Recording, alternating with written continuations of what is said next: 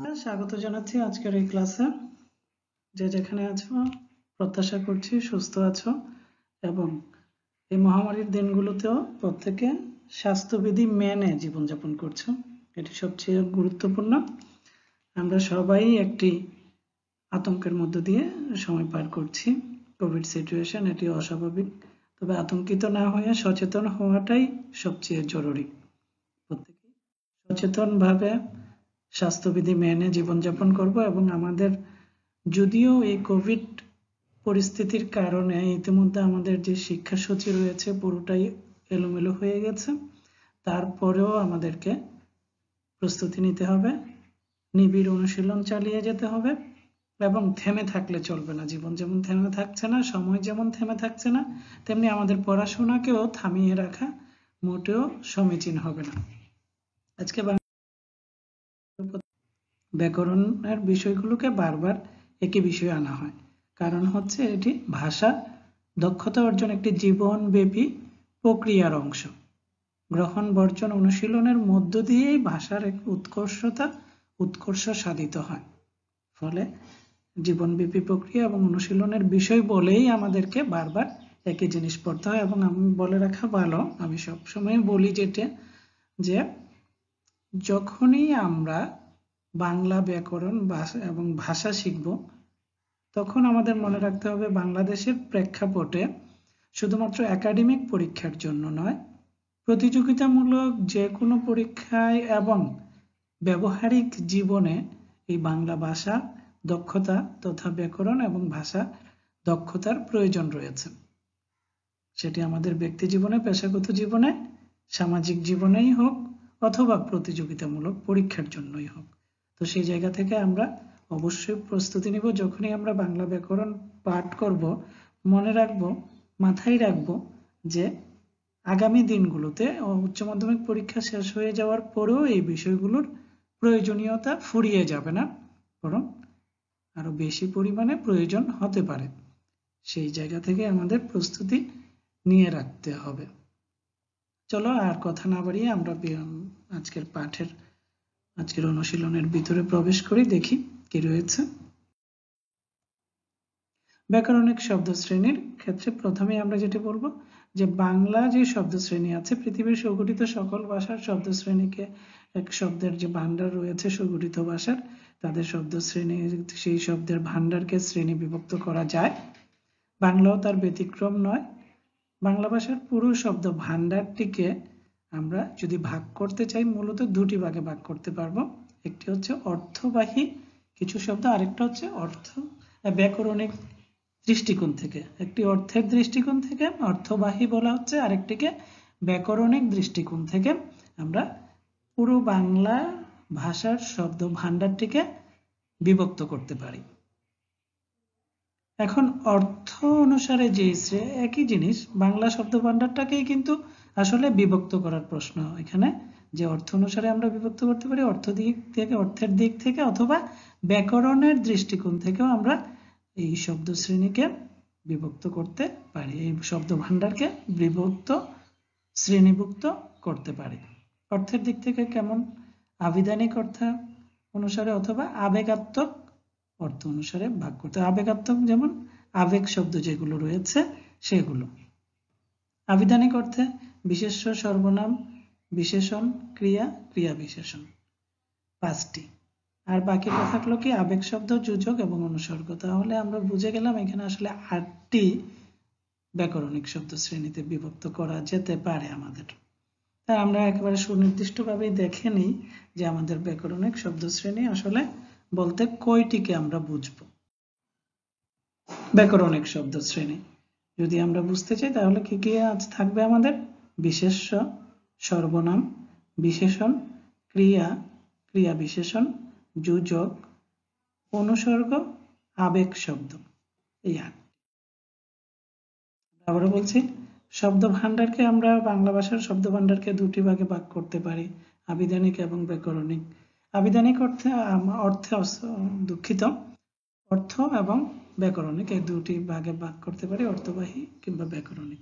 কিন্তু ব্যাকরণিক শব্দ শ্রেণি যখন আমরা ওই সব টার্মটা ব্যবহার করছি, ওই শব্দটা ব্যবহার করছি, তখন আমরা বলব ব্যাকরণিক শব্দ শ্রেণি বাংলা ভাষার শব্দ ভাণ্ডারকে ব্যাকরণিক শব্দ শ্রেণির দৃষ্টিকোণ থেকে মোট আটটি শ্রেণীতে ভাগ করা যায়। সেই শ্রেণীগুলো হলো বিশেষ্য, সর্বনাম বিশেষণ, ক্রিয়া ক্রিয়া বিশেষণ, যোজক, অনুসর্গ এবং আবেগ শব্দ এই আটটি শ্রেণীতে আমাদের ব্যাকরণিক শব্দ শ্রেণীগুলোকে ভাগ করা যেতে পারে। এবার আমরা এই আটটির আজকের এই ক্লাসে আমাদের যে সীমাবদ্ধতা রয়েছে এবং তোমরাও অনলাইন ক্লাসে ইতিমধ্যে হয়তো কেউ কেউ ভুর ফিল করছ ফলে খুব দীর্ঘ সময় নিয়ে সবগুলো আটটা বিষয় নিয়ে আলোচনা করার অবকাশ আজকে আমরা পাবো না। আজকে আমরা যতটুকু সময় পাই, আমাদের যে নির্দিষ্ট পরিকল্পনা রয়েছে, সেই পরিকল্পনা মাফিক আমরা একটি বা দুটি অংশবিশেষ নিয়ে আলোচনা সীমাবদ্ধ থাকব। আলোচনা করব আমরা সবগুলো ব্যাকরণিক শব্দ শ্রেণির যে পুরো শ্রেণি বিভাগ, আটটি বিষয় নিয়ে আমাদের পক্ষে একই ক্লাসে আলোচনা সম্পূর্ণ করা সম্ভব হবে না বিদায়। আজকে আমরা কেবল বিশেষ্য এবং ক্রিয়ার যে শ্রেণি বিভাগটুকু রয়েছে, ক্রিয়াপদ নিয়ে আংশিক আলোচনা করব এবং বিশেষ্য নিয়ে আলোচনা করব। বিশেষ্য। এখন বিশেষ্য বলতে আসলে আমরা যে বলি বিশেষ্য পদ বলি, এখানে পদ, বিশেষ্য পদ। পদ আর শব্দের মধ্যে একটু পার্থক্য রয়েছে। শব্দ যখন অভিধানে থাকে, শব্দ কিন্তু যখন এটি বাক্যে ব্যবহৃত হয়, অর্থাৎ বিভক্ত, বিভক্তিযুক্ত সকল শব্দই পদ। অর্থাৎ বাক্যে ব্যবহৃত প্রতিটি শব্দকেই আমরা পদ বলি। তাহলে সেই পদগুলোর কোনো না কোনো নাম আবার শ্রেণি বা শ্রেণীতে ভাগ করা যায়। বিশেষ্য, বিশেষণ, সর্বনাম, যোজক কিংবা অনুসর্গ কিংবা ক্রিয়াপদ ইত্যাদিতে। এখন বিশেষ্য তাহলে কাকে বলে? আমরা আগেও পড়ে এসেছি, এটা পুরাতন, নতুন কিছু না। এই শব্দটি বিশেষ্য বলতে আমরা যা বুঝি, যে পদের দ্বারা। পদ এই জন্য বলা হচ্ছে কারণ বাক্যে ব্যবহৃত হলেই সেটি পদ। এবং সেই পদের দ্বারাই কেবল কোন একটা বিষয়কে চিহ্নিত করা সম্ভব। ফলে যে পদের দ্বারা ব্যক্তি, জাতি, বস্তু, গুণ, কার্য ইত্যাদির নাম প্রকাশিত হয় তাকে বিশেষ্য পদ বলে। ইত্যাদির কিন্তু নাম, ইত্যাদির অবস্থা নয়। ইত্যাদির কি হবে? ব্যক্তি, জাতি, বস্তু, গুণ, কাজ ইত্যাদির নাম প্রকাশ করবে। তাকেই আমরা বলছি বিশেষ্য পদ বলছি। বিশেষ্য পদের উদাহরণ আমরা দেখতে পারি। বিশেষ্য পদকে যে আরও কয়েকটি শ্রেণীতে বিভাগ এখন এই বিশেষ্যের আবার শ্রেণি বিভাগ রয়েছে। বিশেষ্য পদকে আমরা সাধারণত পাঁচটি শ্রেণীতে কিংবা কেউ কেউ ছয়টি শ্রেণীতে, যেমন ভাববাচক বিশেষ্যকে অনেকে আবার গুণবাচক বিশেষ্য আরেকটি বিশেষ্য ভাগ করে থাকেন। সেই ক্ষেত্রে ছয়টি বিশেষ্য পদ হতে পারে। বিশেষ্য পদকে সংজ্ঞাবাচক, শ্রেণীবাচক বা গুণবাচক, ক্রিয়াবাচক, সমষ্টিবাচক প্রভৃতি শ্রেণীতে ভাগ করা যায়। পরবর্তীতে আমরা উদাহরণ সংজ্ঞা সহ এই এই বিশেষ্য পদগুলোর বিশেষ্য পদের সংজ্ঞা সহ উদাহরণ সহ সংজ্ঞাগুলো একটু লক্ষ্য করব, আলোচনা করব। প্রথমেই আসে আমাদের সংজ্ঞাবাচক বিশেষ্য। সংজ্ঞাবাচক বিশেষ্য কাকে বলে? সংজ্ঞা কাকে বলে আমরা জানি? যে বিশেষ্য পদ, ব্যক্তি, স্থান, বিষয় ইত্যাদির যে কোনো নাম সুনির্দিষ্ট করে বুঝিয়ে দেয়। সুনির্দিষ্ট করে বুঝিয়ে বুঝিয়ে দেয়।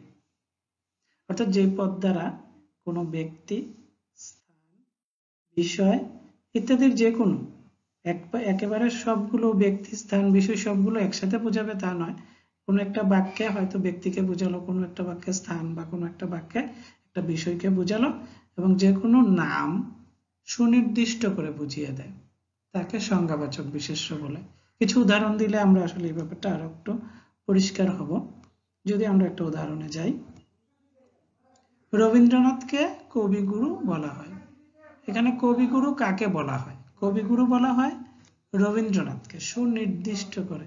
আমরা এখানে ল্যান্ডমার্ক করে রেখেছি, লাল চিহ্ন দিয়ে রেখেছি, অর্থাৎ এই রবীন্দ্রনাথ এখানে সংজ্ঞাবাচক বিশেষের উদাহরণ। পরীক্ষার আমাদের যেভাবে প্রশ্নটা হয় ফ্ল্যাট কোশ্চেন হয় ব্যাকরণিক শব্দ শ্রেণি কাকে বলে, কত প্রকার কে কে উদাহরণ সহ বলো। অথবা বিশেষের শ্রেণি বিভাগ উদাহরণ সহ আলোচনা করে হতে পারে।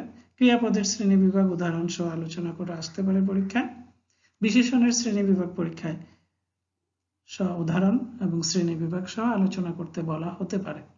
আরেকটা যেটি প্রশ্ন থাকে, সেটি হলো একটি অনুচ্ছেদ বা কতগুলো বাক্য দিয়ে দেওয়া হবে এবং সেখান থেকে ব্যাকরণিক শব্দ শ্রেণীগুলোকে চিহ্নিত করতে বলা হয়, যে কোনটি বিশেষ্য কোনটি সর্বনাম কোনটি অব্যয় পদ কিংবা যোজক এগুলো চিহ্নিত করার জন্য বলা হয়ে থাকে। রবীন্দ্রনাথকে কবিগুরু বলা হয়, এটি হলো সংজ্ঞাবাচক। এই বাক্যে রবীন্দ্রনাথ সংজ্ঞাবাচক বিশেষ্য পদের উদাহরণ। পৃথিবীর সর্বোচ্চ শৃঙ্গ এভারেস্ট। এই সর্বোচ্চ শৃঙ্গ এভারেস্ট এভারেস্ট দ্বারা একটা সুনির্দিষ্ট বুঝিয়ে দেওয়া হচ্ছে যে শৃঙ্গের ক্ষেত্রে সবচেয়ে বড়টা কোনটা? এভারেস্ট। ফলে এটি একটি সংজ্ঞাবাচক বিশেষ্যের উদাহরণ। শ্রেণীবাচক বিশেষ্য। শ্রেণীবাচক বিশেষ্যের উদাহরণটা আমরা সংজ্ঞাটা একটু দেখি। যে বিশেষ্য পদ, জীব বা জড় কোনো একটি শ্রেণির নাম শ্রেণির নাম বোঝায় তাকে। এখানে কিন্তু শ্রেণির সমষ্টি না, কোনো একটি শ্রেণির নাম বোঝাবে, নাম বোঝায় তাকে শ্রেণীবাচক বিশেষ্য বলে। যেমন, গাছ আমাদের পরম বন্ধু। এখানে বিশেষ্য পদ কোনটি? গাছ। এটি কোন ধরনের বিশেষ্য পদ? শ্রেণীবাচক বিশেষ্য পদ। কারণ এটি একটি শ্রেণির, এটি একটি জীবজগতের উদ্ভিদ জগতের একটা শ্রেণীকে প্রকাশ করছে। আমরা গর্বিত বাঙালি। এই বাঙালি শব্দটিও শ্রেণীবাচক বিশেষের একটি উদাহরণ। নানান জাতির মধ্যে একটি জাতিকে এখানে বোঝানো হচ্ছে। এক জাতির অনেকগুলো মানুষের একটা শ্রেণীকে একটা শ্রেণীকে বোঝানো হচ্ছে। পুরো মানব জাতির মধ্যে একটা শ্রেণীকে বাঙালি বলে বোঝানো হচ্ছে, ফলে এটি একটি শ্রেণীবাচক বিশেষ্য। কারণ পৃথিবীতে অনেক জাতি রয়েছে, গোষ্ঠী রয়েছে। তাদের মধ্যে একটাকে সুনির্দিষ্ট করে বোঝাচ্ছে, একটা শ্রেণীকে বোঝাচ্ছে বলে এটি শ্রেণীবাচক। বিশেষের উদাহরণ, বাঙালি। আমরা গর্বিত বাঙালি। তবে শ্রেণীবাচক বিশেষকে সুনির্দিষ্ট করে উল্লেখ করা হলে সেটি আবার যদি এই শ্রেণীবাচক বিশেষ্যগুলোকে যেমন আম গাছ গাছ বলা হচ্ছে, কিন্তু শুধু যদি বলা হতো আম গাছ, তাহলে এটি কিন্তু আবার সংজ্ঞাবাচক বিশেষ্য হয়ে যেত। ফলে বলা হচ্ছে, শ্রেণীবাচক বিশেষ্যকে সুনির্দিষ্ট করে উল্লেখ করা হলে সংজ্ঞাবাচক বিশেষ্য হয়। হ্যাঁ আবারও বলছি, এই শ্রেণীবাচক যে বিশেষ্য আমরা আজকে এখন শ্রেণি বিভাগটা দেখালাম, এটিকে যখন সুনির্দিষ্ট করে উল্লেখ করা হবে, তখন সেটি কিন্তু সংজ্ঞাবাচক বিশেষ্য পদে পরিণত হয়ে যাবে। যেমন গাছ আমাদের পরম বন্ধু, আমি বলছি, এটি হচ্ছে গাছ এখানে শ্রেণীবাচক বিশেষ্য। কিন্তু যখন বলব আম গাছ আম গাছ সুনির্দিষ্ট হয়ে যাবে যখন, তখন সেটি কিন্তু সংজ্ঞাবাচক বিশেষের উদাহরণ হয়ে যাবে। আমরা যাই। ভাব বা গুণবাচক বিশেষ্য।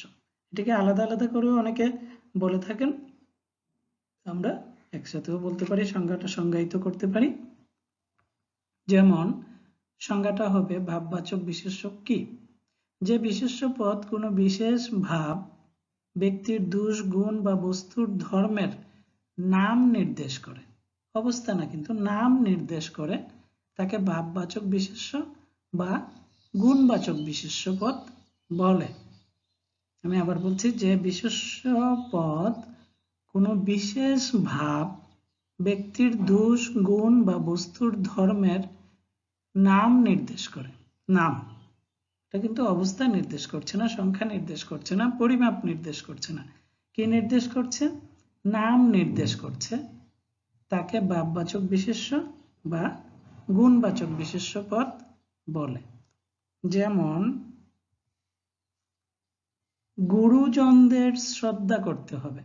এটা একটা ভাব প্রকাশ হচ্ছে। শ্রদ্ধাটা কীভাবে প্রকাশ করবে? কি প্রকাশ করবে? শ্রদ্ধা প্রকাশ করবে। এটা সার্বিকভাবে বলা হচ্ছে, একটা ভাব প্রকাশিত হচ্ছে। সাধুতা, একটা গুণ প্রকাশ হচ্ছে। গুণের নাম সাধুতা। মহত্বের লক্ষণ। শ্রদ্ধা, এটা একটা ভাবের নাম। একটা ভাব প্রকাশিত হয়েছে, ভাববাচক বিশেষ্য। এটাকে যদি আমরা আলাদা করে নিই, তাহলে গুণবাচক বিশেষ্য বলতে পারি সাধুতাকে। অর্থাৎ সাধুতা, মহত্বের লক্ষণ। এগুলো নাম প্রকাশ পাচ্ছে। শ্রদ্ধা, সাধুতা বলে এগুলো ভাব বা গুণবাচক বিশেষ্যের উদাহরণ। ক্রিয়াবাচক বিশেষ্য। ক্রিয়াবাচক বিশেষ্য কাকে বলে আমরা দেখে নিই। যে বিশেষ্য পদ ক্রিয়ার নাম নির্দেশ করে, তাকে ক্রিয়াবাচক বিশেষ্য বলে। আবার বলি, যে বিশেষ্য পদ ক্রিয়ার নাম নির্দেশ করে নাম নির্দেশ করবে, কিন্তু অন্য কিছু না। ক্রিয়ার নাম। তাকে ক্রিয়াবাচক বিশেষ্য বলে। তাহলে ক্রিয়াবাচক বিশেষ্যের আমরা উদাহরণ দিলে এই বিষয়টা আরেকটু পরিষ্কার হবে আমাদের কাছে, যে ক্রিয়াবাচক বিশেষ্য কোনটি? যেটি ক্রিয়ার নাম নির্দেশ করে। যেমন, আমার দুপুরে ঘুমানো অভ্যাস। এখানে ঘুমানো, ঘুম ঘুমিয়েছি, ঘুমাচ্ছি, ঘুমাবো, ঘুমিয়েছিলাম। ক্রিয়াপদের উদাহরণ। কিন্তু বিশেষ্য কেন হয়ে গেল যখন আমি বলছি ঘুমানো। ঘুমানো কিন্তু ক্রিয়াকে বোঝাচ্ছে না, ক্রিয়ার একটি অবস্থাকে বোঝাচ্ছে, নামকে বোঝাচ্ছে একটি।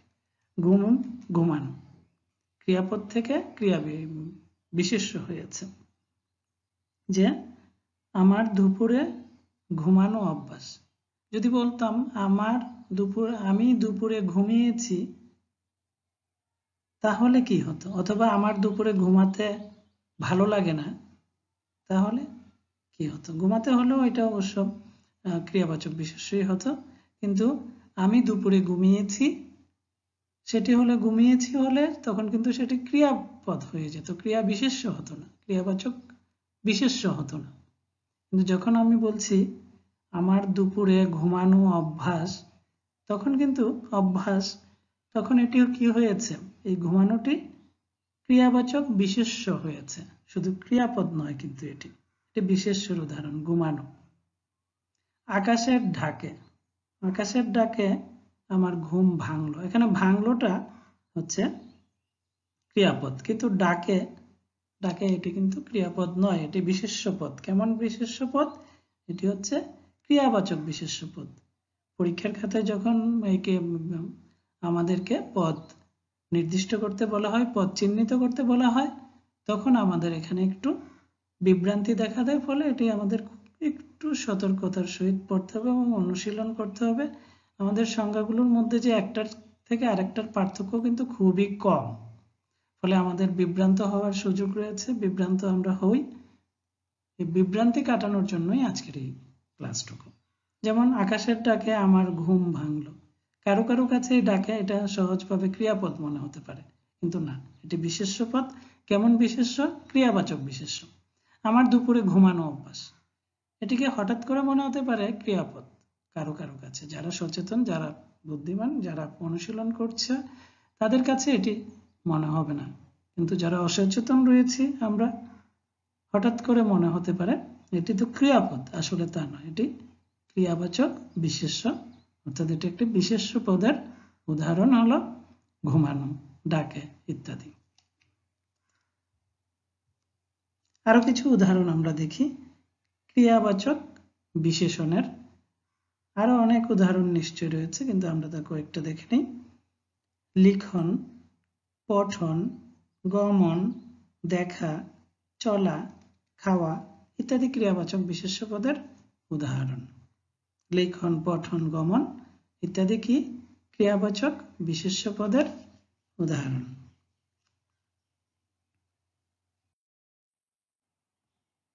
সমষ্টিবাচক বিশেষ্য। সমষ্টিবাচক বিশেষ্য কাকে বলে আমরা একবার দেখব। সমষ্টি আমরা বুঝি যে একটি শ্রেণির সমষ্টিকে যদি বোঝায়, কোনো একটি শ্রেণির একটা সমষ্টিকে যদি বোঝায়, তাহলে আমরা তাকে সমষ্টি বুঝি। সমষ্টি বাচক বিশেষ্য কি? যে বিশেষ্য পদ বস্তু, প্রাণী বা ব্যক্তির সমষ্টির নাম বোঝায়। কোনো একটি নাম না বুঝিয়ে ওই শ্রেণির সকল বস্তু বা প্রাণী বা ব্যক্তির সকল না হোক কয়েকটা হতে পারে। একাধিক হবে। সমষ্টি হলে একাধিক হতে হবে। এক দিয়ে তো আর সমষ্টি হয় না। তাহলে বস্তু, প্রাণী বা ব্যক্তির সমষ্টির নাম বোঝাবে যখন তাকে সমষ্টিবাচক বিশেষ্য বলে। আবার যদি বলি আমরা যে বিশেষ্য পদ, বস্তু, প্রাণী বা ব্যক্তির সমষ্টির নাম বোঝায়, তাকে সমষ্টিবাচক বিশেষ্য বলে। যেমন, সেনাদল যুদ্ধ জিতে দেশে ফিরছে। এখানে সেনাদের একটা সেনা দল যখন বলা হচ্ছে একসাথে, তখন এই সেনাদের একটা সমষ্টিকে বোঝাচ্ছে। অনেক সেনার একটি সমষ্টি হলো সেনাদল। যুদ্ধ জিতে দেশে ফিরছে সেনাদল এখানে। সমষ্টিবাচক বিশেষের উদাহরণ। বাবা এক ডজন কলা কিনে এনেছেন। এক ডজন কলা একসাথে সমষ্টিবাচক বিশেষ্য পদের উদাহরণ। এক জাক পাখি বসেছে গাছের ডালে। এই এক জাক পাখি একসাথে একটি সমষ্টিবাচক বিশেষ্য পদের উদাহরণ। এবার আমরা ক্রিয়াপদ নিয়ে একটু আলোচনা করি। ক্রিয়াপদ একটি গুরুত্বপূর্ণ বিষয়, তাই আমরা একটু আলোচনা করছি। আজকে যেহেতু আমাদের সীমাবদ্ধ, সময়ের সীমাবদ্ধতা আমাদের সব সময় থাকে ক্লাসের ক্ষেত্রে, তো আমরা ক্রিয়াপদ নিয়ে একটু আলোচনা করব। পরবর্তী কোনো ক্লাসে আমরা সর্বনাম, বিশেষণ, অন্যান্য যেই ব্যাকরণিক শব্দ শ্রেণি আছে সেগুলো নিয়ে নিশ্চয়ই আলোচনা করব। আজকের এই পরিসরে যেটুকু আছে, সেই পরিসরের মধ্যে একটু ক্রিয়াপদ নিয়ে আমরা আলোচনা করি। ক্রিয়া, আমরা জানি ক্রিয়া কাকে বলে? ব্যাকরণিক শব্দ শ্রেণির একটি গুরুত্বপূর্ণ বিষয় এই ক্রিয়াপদ। যেই পদ দ্বারা কোনো কিছু করা বোঝাবে, তাকেই ক্রিয়াপদ বলে। ক্রিয়াপদকে প্রথমত আমরা দুটি ভাগে, ক্রিয়া নিষ্পন্নের দিক থেকে আমরা দুটি ভাগে ভাগ করে নিতে পারি। সকল ক্রিয়াপদকে বাক্যের যে ক্রিয়া নিষ্পত্তির দৃষ্টিকোণ থেকে দুটি ভাগে ভাগ করা যায়। একটিকে আমরা বলছি সমাপিকা ক্রিয়া, আরেকটি হলো অসমাপিকা ক্রিয়া। যেই ক্রিয়াপদ দ্বারা বাক্যের ক্রিয়ার সম্পূর্ণ হয়ে যায়, অর্থের ক্ষেত্রে ক্রিয়াটি সম্পূর্ণ হয়ে যায়, সেটি সমাপিকা ক্রিয়া। যে ক্রিয়াপদ দ্বারা ক্রিয়া কর্মটি কর্মটি অসম্পূর্ণ থেকে যায়, সেটি হচ্ছে অসমাপিকা ক্রিয়া। যেমন আমি ভাত খেয়ে স্কুলে যাব, আমি ভাত খেয়ে কলেজে যাব। যখন আমি বলছি আমি ভাত খেয়ে খেয়ে কিন্তু ক্রিয়াপদ। কোন ধরনের ক্রিয়াপদ? অসমাপিকা ক্রিয়া। কারণ আমি ভাত খেয়ে বলার পর এখানে বাক্যের অর্থ সম্পূর্ণ হচ্ছে না। তখন কলেজে যাব। যখন যাব বলছি, দ্বারা ক্রিয়াপদটি অর্থ সম্পূর্ণ হয়ে গেছে। বাক্যের অর্থ সম্পূর্ণ হয়েছে। ফলে ক্রিয়া নিষ্পন্নের দিক থেকে সমাপিকা এবং অসমাপিকা ক্রিয়া। যাব এখানে সমাপিকা ক্রিয়ার উদাহরণ, খেয়ে অসমাপিকা ক্রিয়ার উদাহরণ। এছাড়াও আমরা কর্ম অনুসারে ক্রিয়াপদকে আরও কয়েকটি ভাগে ভাগ করতে পারি। যেমন, অকর্মক সকর্মক দ্বিকর্মক। কর্ম কাকে বলে আমরা জানি? কর্তা যা করে তাই কর্ম। আমরা জানি আমরা ইংরেজিতে আমরা যখন সাবজেক্ট বলি সাবজেক্ট অবজেক্ট বলি, কিন্তু আমাদের কর্তা, কর্ম, ক্রিয়া, এগুলো নিয়ে আমাদের বাক্য গঠিত হয়। তার সাথে আনুষঙ্গিক অন্যান্য পদ যুক্ত হয়। আমাদের একটি বাক্যের মূল যে উপাদান, সেগুলো কি? কর্তা, কর্ম এবং ক্রিয়া। এখন এই ক্রিয়াপদের কর্মের উপর ভিত্তি করে কখনো কখনো কর্ম উজ্জ থাকে, বোঝা যায় না। তখন সেটি অকর্মক্রিয়া যদি সেখানে কর্ম স্পষ্টভাবে প্রকাশ হয়, তাহলে সেটি সকর্মক্রিয়া আর যদি একাধিক কর্ম থাকে, দ্বিকর্মক্রিয়া, প্রযোজক ক্রিয়া কি? নিজে না করে অন্যকে দিয়ে যখন কাজ করান, তখন তাকে প্রযোজক ক্রিয়া বলে, যেমন মা শিশুকে চাঁদ দেখাচ্ছেন। মা দেখাচ্ছেন, কাকে দেখাচ্ছেন? শিশুকে। মূল কাজটা তাহলে কে করছে? মূল কাজটা করছে আসলে শিশু শিশু দেখছেন মা দেখাচ্ছেন। মা এই কাজটা করাচ্ছেন ফলে এটি প্রযোজক ক্রিয়ার উদাহরণ। যৌগিক ক্রিয়া, আমরা একাধিক ক্রিয়া যখন যুক্ত হয় এমন ভিন্ন ভিন্ন ধর্মী ক্রিয়াপদ যুক্ত হলে যৌগিক ক্রিয়া, মিশ্র ক্রিয়ার ক্ষেত্রে মিশ্র ক্রিয়া। এই হচ্ছে মোটামুটি আমাদের ক্রিয়াপদ। ক্রিয়াপদ নিয়ে আমরা পরবর্তী ক্লাসে অন্য একটি ক্লাসে আলোচনা করব। এটি অত্যন্ত গুরুত্বপূর্ণ একটি টপিকস আজকে আমি একটু হালকা, একেবারেই প্রাথমিক ধারণাটুকু দিলাম। পরবর্তী ক্লাসে আমরা ক্রিয়াপদ নিয়ে আলো আলোচনা করব। তোমরা সেই পর্যন্ত ক্রিয়াপদের উপর একটু অনুশীলন দেওয়ার আগ পর্যন্ত অবশ্যই বাংলার উপর অনুশীলনগুলো চালিয়ে যাও। এটি তোমাদের জন্য দীর্ঘমেয়াদে উপকারে আসবে, কাজে আসবে এবং এটার উপযোগিতা সব সময় রয়ে যাবে। ধন্যবাদ।